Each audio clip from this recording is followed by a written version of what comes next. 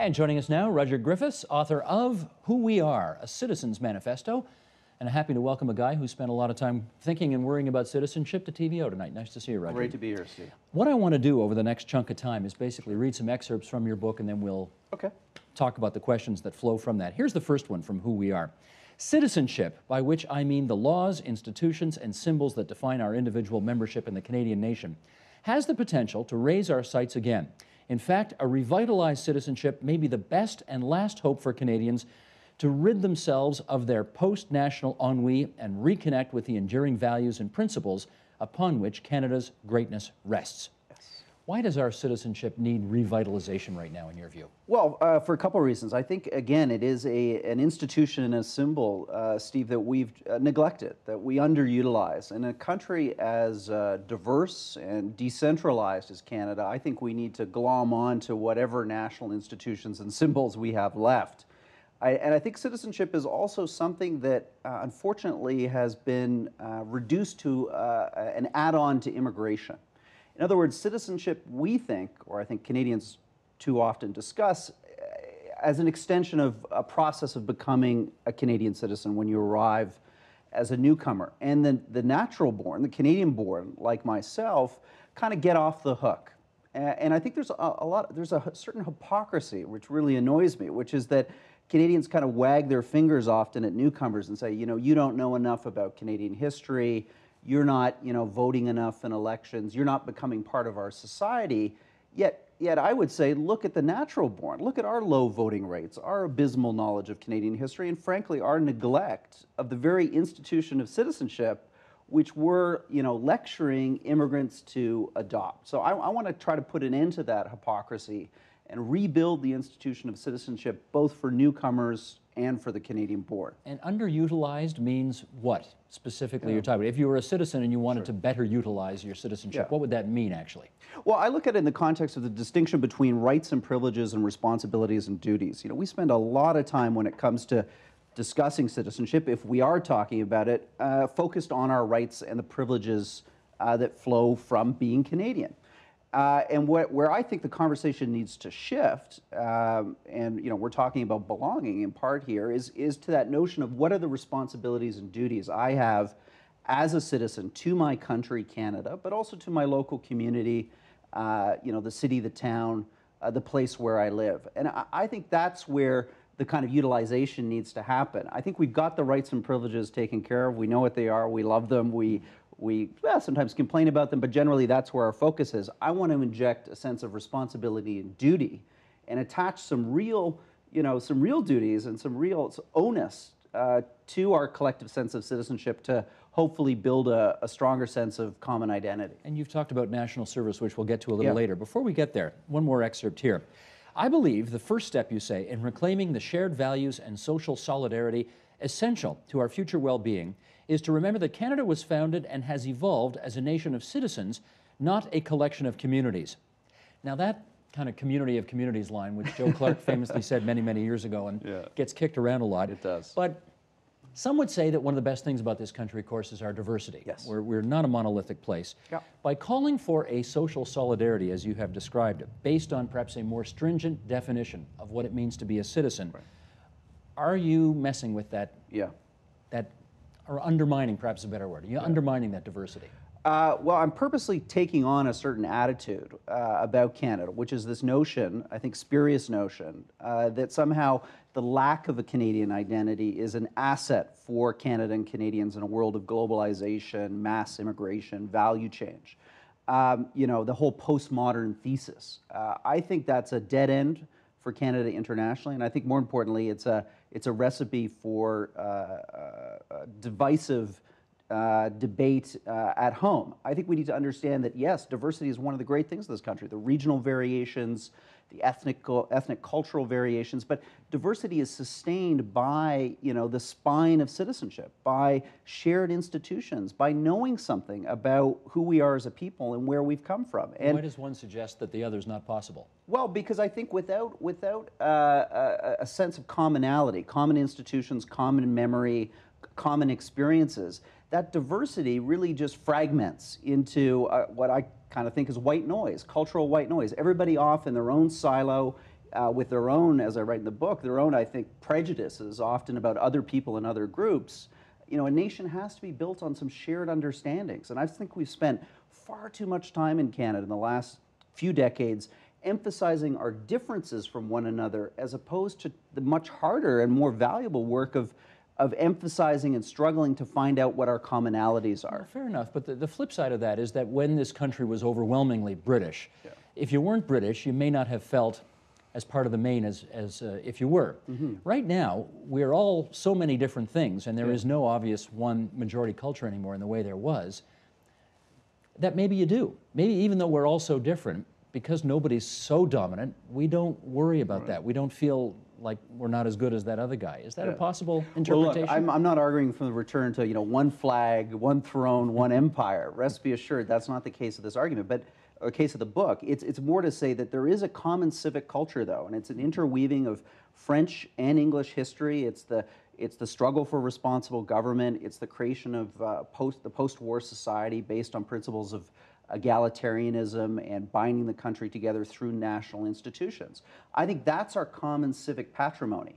It's not a patrimony based on a racial identity. Uh, it's a patrimony based on a kind of civic consciousness. And in this book, I try to go back and argue about how that civic consciousness emerges, what its principles are, and why it's relevant uh, to, to Canada today. And I think it's relevant to you whether you've been in, your family's been in this country for 400 years or whether you've been here for four years. I think that's the promise, that's the potential of Canada. It's the kind of the universality of, of, uh, of, of the promise of being a, a participant in a common civic experiment. I know one of the things that, that I'm sure you remember from your time at the Dominion Institute. We, we are very proud of our Charter of Rights and Freedoms. Yes. We, we say we are, anyway. You point out that most of the Charter applies to non citizens living in Canada, not just Canadian citizens as well. Yeah. Is that okay? Like, are you okay with that? Well, look, I think as I argue in the book, uh, if I have a, an issue with the Charter, it's the degree to which it has to some degree replaced or uh, diminished the role of Parliament in our democratic institutions. It's in some ways Americanized our political culture. It's emphasized group and individual rights over community and I would say collective kind of democratic systems and norms. Uh, so look, I, I, think you, you have to have a charter. It is part of a, a kind of foundational document.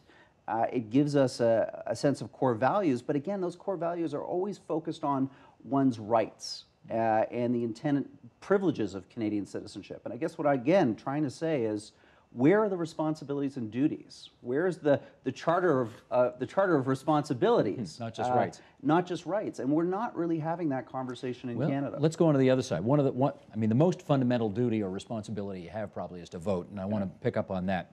A number of big city mayors, as you know, think that it's time yes. to extend the vote not just to Canadian citizens but also to non-citizens who are part of the community, and of course, uh, over whom the policies enacted by City Hall have an impact. What do you think of that idea? Oh, I think it's a lousy idea. Uh, it's a lousy idea not because you know non-citizens don't have something to contribute to the society before they acquire formal citizenship, but what it does, and this we can talk about dual citizenship too, which I also I'm getting uh, that. it's on my list. Uh, you know, I have problems with. Is it devalues uh, the, the the the reality of citizenship for those immigrants who have stayed in Canada, who have gone through the citizenship process, who've passed the citizenship exam, who are here raising their families, it, it, it, it, it makes that process less valuable, less important to those people that are making a commitment to Canada.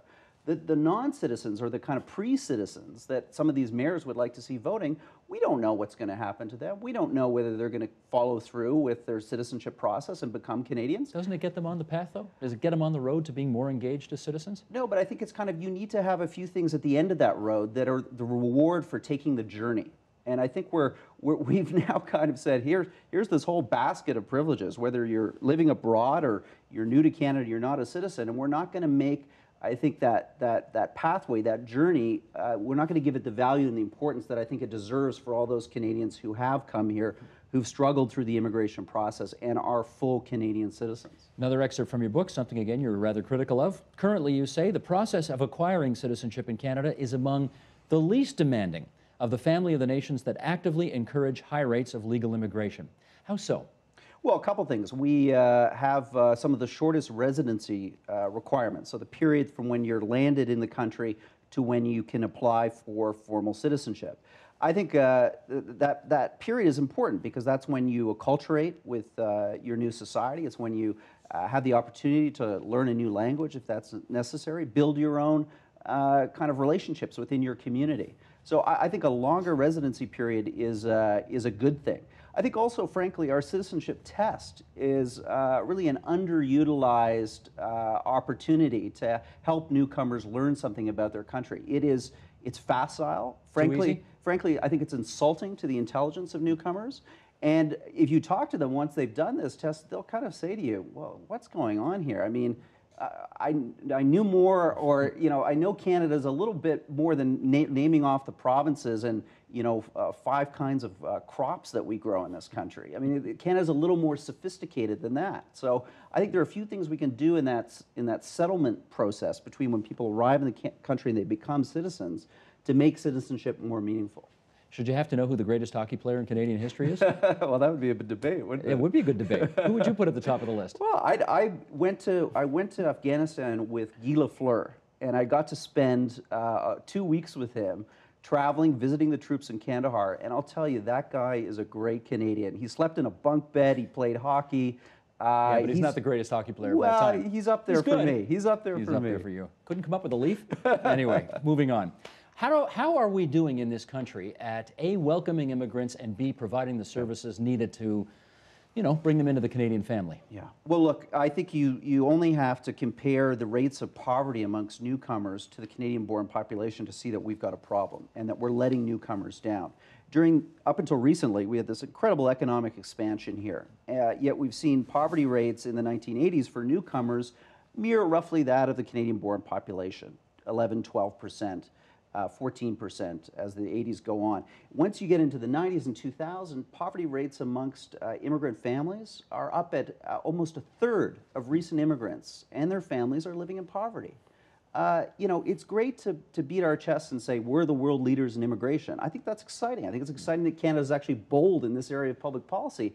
But come on, let's, let's, let's walk the talk. I mean, we have to find ways to integrate these uh, newcomers more effectively into our economy. Otherwise, as I report in the book and explore in some detail, 40% of all professional male immigrants, Steve, leave this country permanently after 10 years.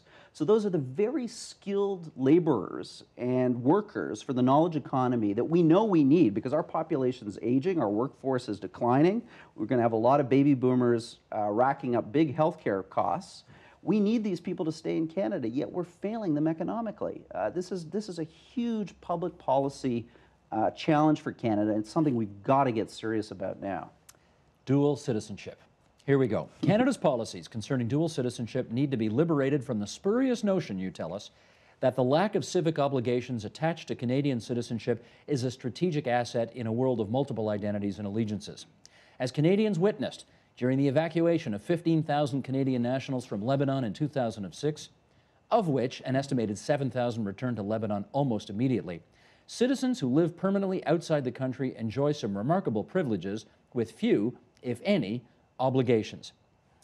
Okay, let's unpack this a little bit here. How is having people in this very interconnected, globalized world, yada, yada, yada, mm-hmm. who can build bridges between our countries and other countries not an asset?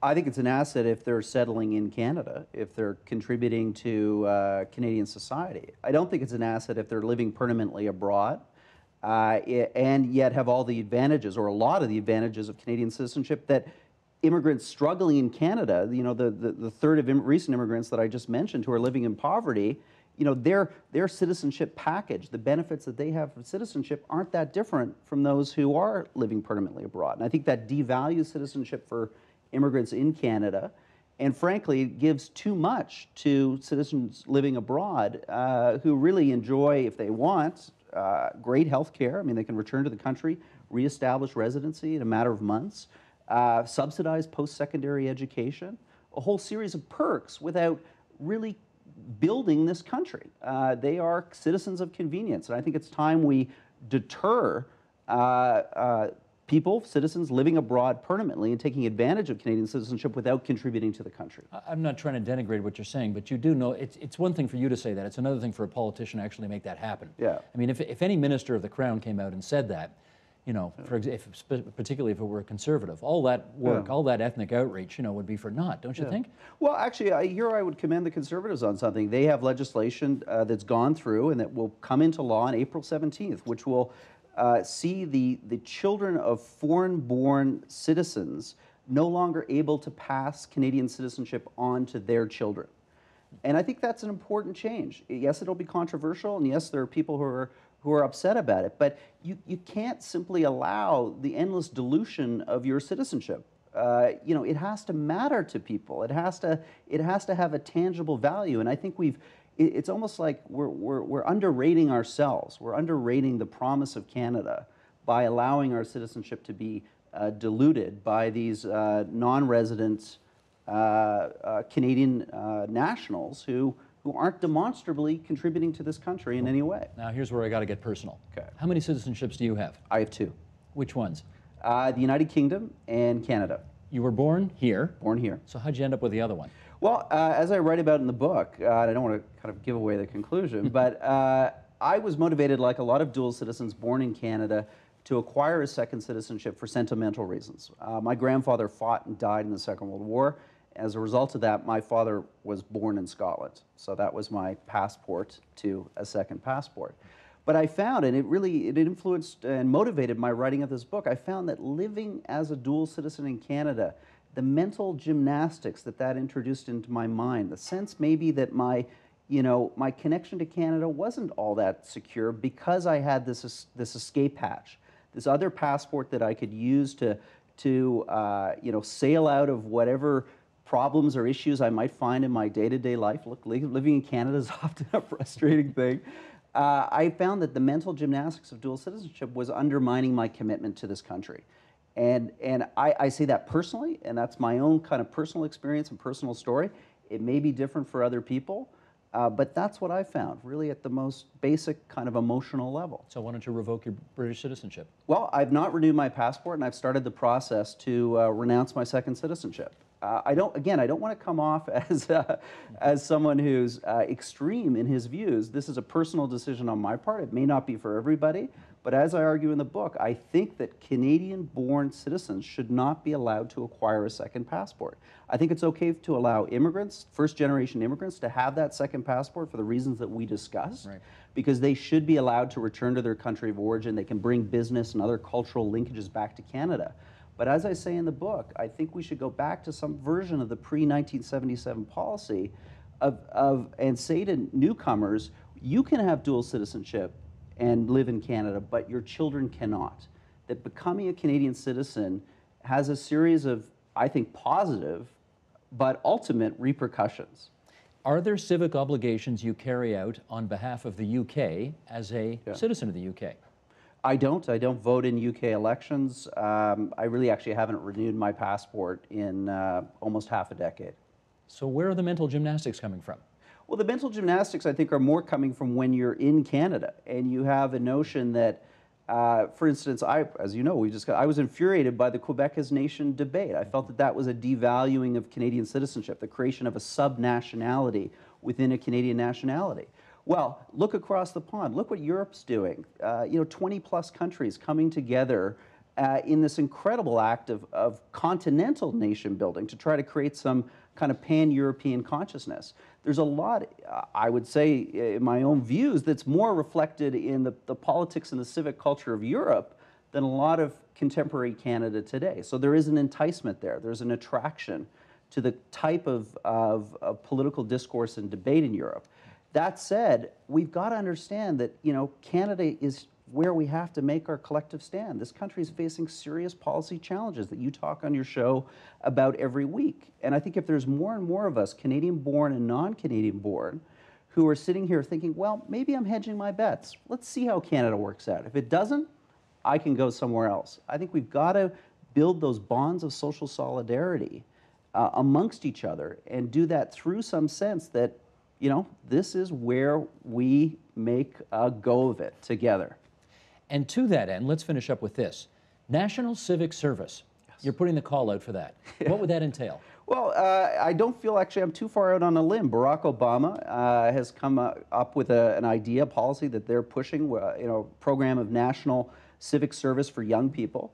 I think Canada and Canadians could benefit hugely from uh, providing young people with, uh, with a period between when they finish high school and continue on with their adult life where the federal government would step in and help them with uh, grants for continuing education, but say to those young people, we want you to give uh, eight or nine months uh, to your country through civic service. Yes, that could be military service, but it's not exclusive to military service. It could be service in your community, it could be service overseas.